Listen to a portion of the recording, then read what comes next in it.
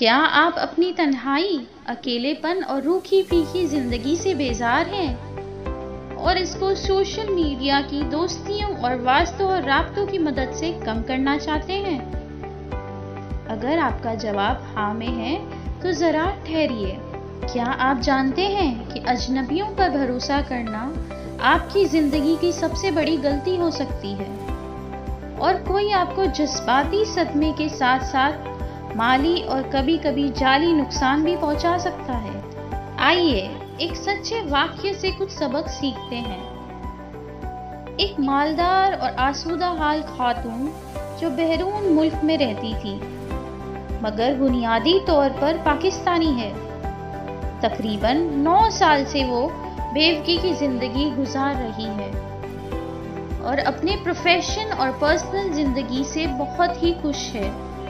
और खातून वक्त गुजारने के लिए फेसबुक पर लोगों से दोस्ती करने का और वक्त गुजारने का एक अच्छा ज़रिया समझती हैं। इस दौरान वो एक ऐसे शख्स की फ्रेंड रिक्वेस्ट कबूल कर बैठती हैं, जो फेसबुक पर बहुत ही मशहूर था। और इसका अकाउंट से बहुत मुख्तलिफ़ मौजूद पर रिसर्च और हैरान कन तहकीकात पढ़ने को मिलती रहती थी। फेसबुक का वो दोस्त अपने दुरुस्त नाम और प्रोफ़ाइल पिक्चर के साथ अपना अकाउंट हैंडल करता था। इसने कभी अपनी तस्वीर शेयर नहीं की, मगर ये कोई इतनी अहम बात नहीं थी कि इस पर शक किया जाए। खातून की बातचीत आहिस्ता आहिस्ता बढ़ती हुई मजीद मदरान शादी की मकाम तक आ पहुँची। क्योंकि वो उम्र के उस हिस्से में थी जहाँ बच्चों की तलब और उम्मीद होती है, और दूसरे फरीक को भी बच्चों वगैरह से कोई दिलचस्पी नहीं थी। लिहाजा इन्होंने तय किया कि वो एक दूसरे को मुआज जज्बाती रफाकत देने के अर्ज़ से शादी करते हैं। किस्सा मुख्तसर पाकिस्तान आने पर इनकी शादी हो गई। और अरसा गुजारने के बाद खातून बहरून मुल्क चली गई। ताकि शोहर के कागजात और इमिग्रेशन प्रोसेस मुकम्मल करके इसे बुला सके। इस सिलसिले में जब कागजात की जाँच पड़ताल हुई तो मालूम हुआ कि मौसूफ की डिग्री जाली थी और वो सिर्फ़ इंटर पास है। और ये जनाब बेरोजगार भी थे। और इस अहलियत पर इनकी बहरून मुल्क में मुलाजमत का मिलना नामुमकिन था। खातून ने इस बारे में इनसे पूछगछ की तो मजीद कई बातें सामने आई।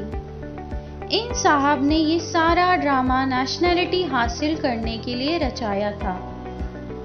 और मकसद, मालदार खातून के असाजात पर ज़िंदगी को सहल करना था। और उनकी पेंशन से ऐश करना था। खातून के मुताबिक, वो शादी से कबल एक साल तक ढाई सौ डॉलर महाना इसको देती रही। इसके अलावा तकरीबन आठ हज़ार डॉलर खर्ची करके वो कराची के एक निजी हॉस्पिटल में इसका डिस्क ऑपरेशन भी करवा चुकी है। मगर इस शख्स का लालच मजीद से मजीद बढ़ता गया। और इनका कहना है कि ये शख्स न सिर्फ़ लालची, झूठा, बल्कि कई कई किस्म की बुराइयों में भी मुब्तला है। और फेसबुक पर बहुत सी औरतों के साथ फ्लर्टिंग करने का आदि है। मौसूफ को गैर फितरी ताल्लुकात और दूसरी सरगर्मियों से भी रुकबत है। इस सारी हकीकत के सामने आने के बाद खातून ने अपने वकील को इमिग्रेशन प्रोसेस से रोक दिया और खुला के लिए केस फ़ाइल कर दिया।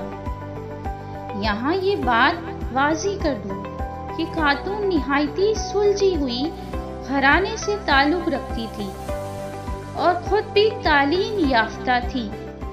इस वाक्य से सीखें और जान लें। कि फेसबुक पर जो जैक ऑफ़ ऑल ट्रेड्स दिखते हैं, वो हमेशा सही नहीं होते। उनसे आप दोस्ती ना करें और जो आपको मुतासर करें, ज़रूरी नहीं कि वो सही हो।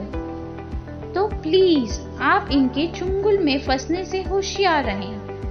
इनसे बेतकल्लुफ ना हो और एक डिस्टेंस मेंटेन करें। और अपनी हर बात इन जैसे लोगों से शेयर ना करें। जाली नामों और आईडी से दूर रहें।